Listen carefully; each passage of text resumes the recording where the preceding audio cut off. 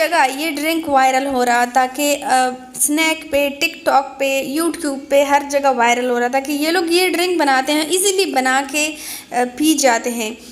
तो मैंने सोचा मैं भी ट्राई कर दूँ कि क्या ये ऐसी होता है? अगर आ, मीठा होता है सच में बहुत मज़े का होता है या फिर ये वैसे सब कुछ जो दिखा रहे हैं सिर्फ़ दिखने में अच्छा है। तो पहले इनकी वीडियो देखे कि ये लोग कैसे बना रहे हैं फिर मैं जाके बनाती हूँ कि और पी के दिखाती हूँ कि ये किस तरीके से बनता है और वाकई अच्छा होता है क्या इसमें बुराई है कहाँ से इसको क्या करना चाहिए। तो शुरू करते हैं हमारा जूस मैंने एक स्वीट मिलन लिया है इस तरीके से। और आपके पास अगर हैंड ब्लेंडर है इस तरह का तो इसी से ये चीज़ बनती है। कुछ लोग मिक्सर यूज़ करते हैं। मिक्सर से नहीं बनती, इस चीज़ से बनती है, क्योंकि ये इसको अंदर से ग्राइंड करता है। तो मैंने इसको गोल सा, क्योंकि इसकी शेप गोल सी है हैंड ब्लेंडर की तो गोल सा मैंने इसको सुराख किया।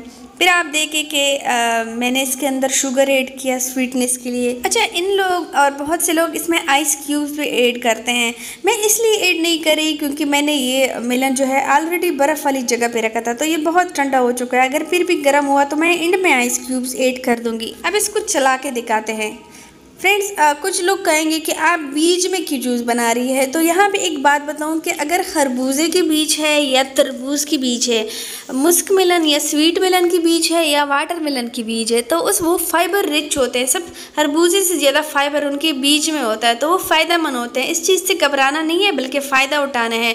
बस इसको चबा चबा के खाएँ या फिर इसको अच्छे से ग्रैंड करके पिए। तो ये ज़्यादा इफ़ेक्ट होता है। लेकिन हम जूस पे आते हैं कि जूस किस तरीके से बनता है, कोई चीज़ रह तो नहीं जाती इसमें। तो जब मैंने अच्छे से ग्रैंड किया जूस जब मैं रोज़ा कोला, ये मैंने रमज़ान में बनाया था, जब मैंने रोज़ा कोला, मैं पीने लगी तो मुझे पता है क्या फ़ील हुआ। मुस्क मिलन जो होता है या स्वीट मिलन जो होता है, खरबूजा जो होता है, उनके बीज जो है, जितनी भी उसको ग्रैंड करो, उसके बीज का थोड़ा सा कुरदरापन इसमें आ जाता है। तो ज़्यादा बेहतर तरीका है, अगर आप इस तरीके से जूस बनाते हैं, आखिर में आइस क्यूब्स भी डालें, अगर आपका जूस ठंडा नहीं है तो वो बहुत अच्छा बनता है, बहुत मज़े का बनता है। लेकिन एक बात इसमें होती है कि अगर आप इसको एक बार जूस बनाने के बाद ग्लास में निकाल के चान लें और वापस इसी में डाल दें और फिर स्ट्रा लगा के पिए तो ज़्यादा मज़े का होता है। सेम खरबूजा में सेम खरबूजे के ढक्कन में मैंने बनाया वाटरमेलन का जूस। अब किस तरीके बनाया? अफ्तारी के बाद कुछ खरबूज के स्लाइसेस बच गए तो वो मैंने डाले क्योंकि एक तो वैसे भी लोग मिक्स फ्रूट चाट बनाते हैं तो ये ज़ाया नहीं करना चाहिए रिजक तो मैंने वो भी डाले और थोड़ा सा वाटरमेलन बीच समेत डाल दिया।